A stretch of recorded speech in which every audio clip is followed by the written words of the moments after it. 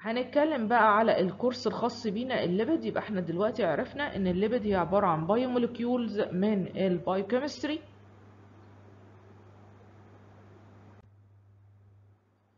هنتعرف على ال definition structure ال function وال monomer بتاعها اللي هو عبارة عن ال fatty acid.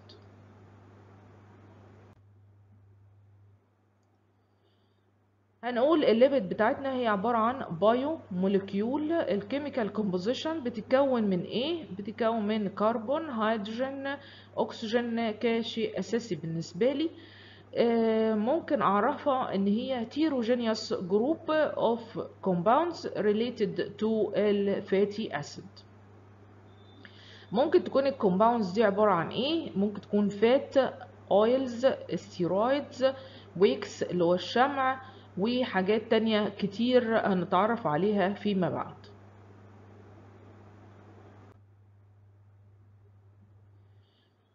ال lipids ليه هي بالنسبة لي important dietary constituent آه، مهمة جدا في الوجبة الغذائية بتاعتي لسببين. السبب الأولاني high energy value بتديني كمية طاقة كبيرة جدا لأن الغرض من إن أنا آكل وجبة غذائية إن أنا أحصل على الطاقة عشان أقدر أعمل ال activity الخاصة بيا.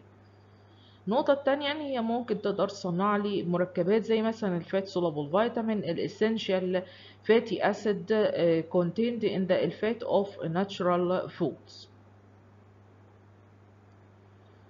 من النقط المهمة جدا بالنسبة لنا إن الليبيد related more by their physical properties than their chemical properties. يبقى أنا بهتم بيها أو هي مهمة بالنسبة لي من ناحية ال physical properties عن ال chemical properties لأن زي ما إحنا هنشوف فيما بعد ال structure بتاعها بيبقى مثلا CH2 متكررة كتير قوي أو CH double bond CH ومتكررة يبقى أنا عندي أهتم بيه اللي هي ال physical properties.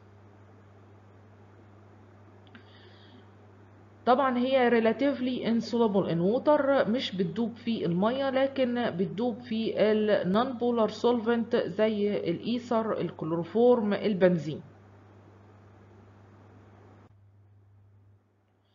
هنتطرق لنقطة مهمة جدا بالنسبة لنا إن في عندنا نوعين من أنواع ال lipids أو ال fat اللي هاخدها في الوجبة الغذائية. في عندي good fat أو lipid وفي عندي bad fat. إيه الفرق ما بينهم؟ إن ال bad طبعا كل junk food كل junk food بالنسبة لي هي تعتبر bad food. اللي هي عبارة عن الآيس كريم بيتزا الهمبرجر البطاطس المقلية العصائر كل دي حاجات بالنسبة لي bad food لكن ال good food بالنسبة لي زي ما هنشوفها بعد شوية الأنواع بتاعتهم إيه. طيب ال side effect أو الضرر اللي هيعود عليا لما آخد وجبة غذائية بتحتوي على ال bad fat لو جينا نشوف ال male طبعا بيبقى قدامه بالنسبة ليه ال junk food كمية كبيرة قوي. عنده همبرجر بطاطس مقلية شوكولاتة ايس كريم عصائر كميات كبيرة قوي. ال side effect بتاعها طبعا سيء جدا بالنسبة لنا. زي ما أنتم شايفين المظهر بتاعه مظهر الجسم مش كويس مش متناسق.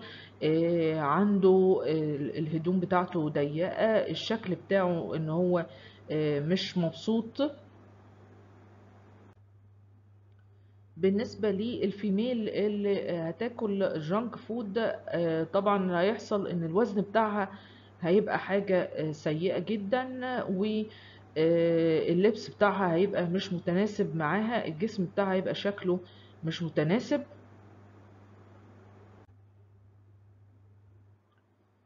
يبقى أنا لازم لازم أفكر في إن أنا آكل وجبة غذائية بتحتوي على نسبة عالية من الجود ليبيد علشان أحافظ على الجسم بتاعي وأبتعد تماما على عن كل أنواع الجانك فود طبعا هتلاقي فيه تغيير ملحوظ تماما في الجسم شكل الجسم بدل ما كان الشخص شكل الجسم بتاعه غير متناسق لا هيبقى متناسق وسليم.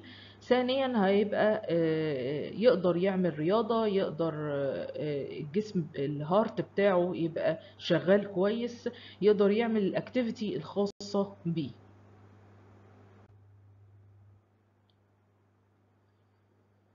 طيب بنسبة بقى ال lipids في الوجبة الغذائية بتاعتي في ال eatwell plate في الطبق اللي أنا باكله خلال اليوم عندي ال lipids عبارة عن أو بترقم برقم خمسة بالنسبة لي. رقم خمسة هي عبارة عن الفود والدرينك هاي ان الفات والشجر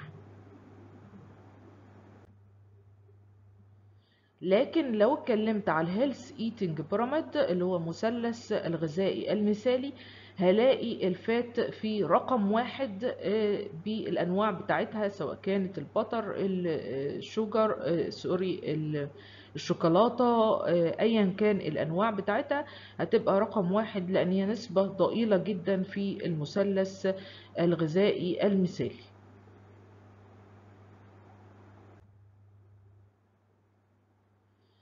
هنشوف بقى ال source of ال lipid in ال food إيه ال source of ال good lipid أو المهمة جدا بالنسبة لي واللي هتفيدني في الجسم.